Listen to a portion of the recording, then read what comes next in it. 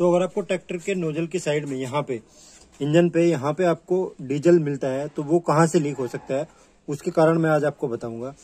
तो सबसे पहले आपको चेक करना है कि ये वाली जो नोजल वाली जो पाइप होती है, डीजल वाली, ये वाली यहाँ पे फिट होती है।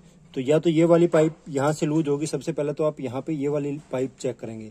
अगर यहाँ से लीक नहीं हो रहा है, फिर दूसरी नंबर आता है, ये जो रिटर्न के लिए, जो डीजल वापसी के लिए जो पाइपलाइन होती है, वो हमें चेक करनी होती है। जैसे ये यहाँ पे एक छोटी सी बेंजो लगती है इसमें यहाँ पे ये बोल्ट लगता है।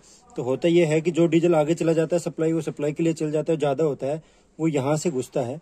ये देखिए, इसमें यहाँ पे एक छेद है। यहाँ से घुसता है, और यहाँ पे साइड में भी आप इसमें एक कट देख रहे होंगे, यहाँ पे। और यहाँ से ऐसे वापस निकलता है। तो ये ऐसे रहता है, ऐसे।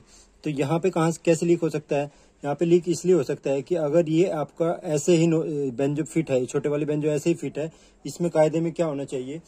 इसमें आपके ये जो वासर है दो, ये लगने चाहिए। एक इधर लगना चाहिए और एक बेंजो के इस साइड में लगना चाहिए।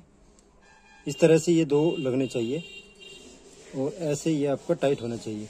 तो अगर आपके ये वाले वासर जो है, ये वाले ख़राब हैं या फिर एक और भी कारण हो सकता है कि मान लीजिए कि मिस्त्री ने जब ये फिट किए थे तब उसने ये वाशर चेंज नहीं किए। कोई ऐसा गंदे वाला जो वाशर जिस पे धूल मिट्टी लगी है, अगर ऐसा वाशर लगेगा तो धूल मिट्टी के कारण भी उसमें वहाँ से लीक हो सकता है।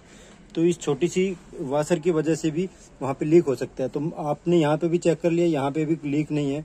फिर यहाँ पे चेक कर लिया, यहाँ पे भी लीक नहीं है।